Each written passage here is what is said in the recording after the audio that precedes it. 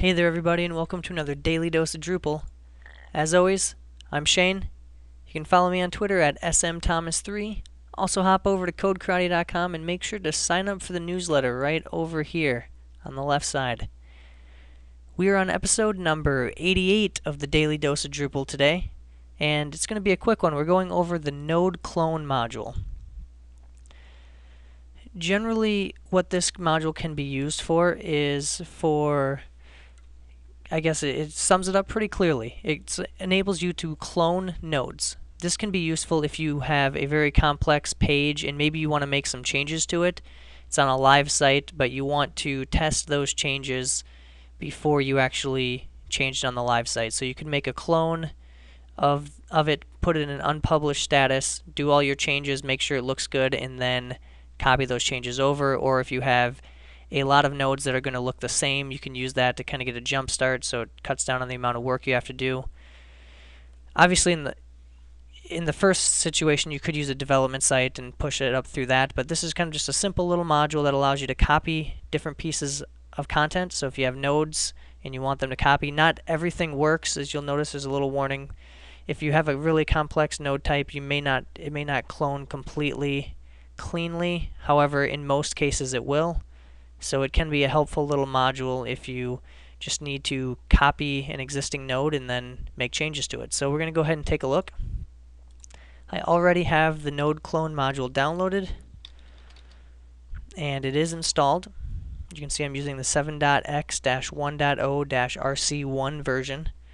We're going to start by going to the configuration page. It gives you a couple different options here you can either have it pre-populate the node form fields so it doesn't actually create the node when you click the link or you can have it actually go ahead and create the new node right away and then allow you to edit it. And we'll go over both those. You can or you can tell it if you need a confirmation when it creates a new node. You can have it clone the menu links. You can set reset publishing options for specific content types and you can also set which content types should not be cloned. So if you have a content type that you know won't work with this node clone module, you can omit certain content types here. So I'm going to leave it at as default, and I'm going to come over to an article here. This is just an article content type with a couple different fields, has a 5-star rating, has two other fields on it, one of them's hidden right now.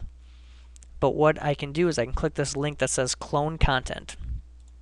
So right now, it creates a node add form basically that gives me all of this content. It does add clone of at the beginning. It does load in the different fields. So the status field had none. It does have the boolean test checkbox checked. The toggle test box is set correctly. So I it is not actually saved to the database yet until I hit save. So once I hit save, now it's saved to the database. And now you can see this is the clone of. So I can go ahead and of course change things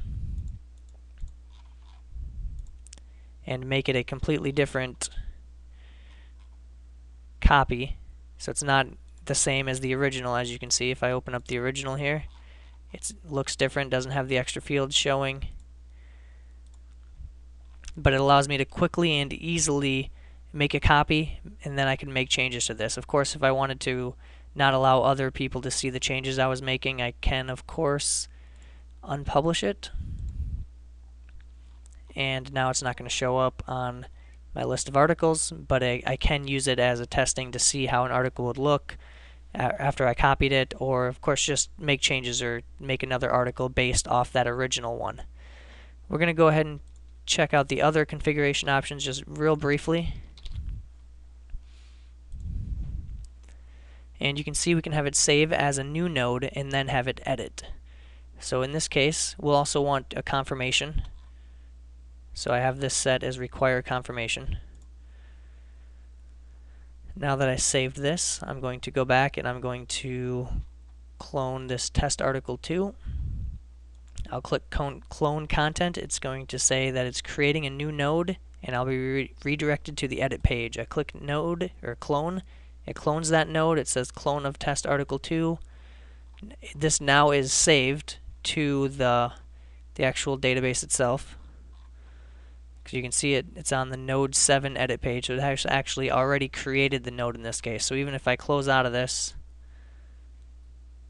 and I come back there's clone of test article 2 which is exactly the same as test article 2 besides the fact that the title's a little different. It didn't copy over any menu items or anything like that.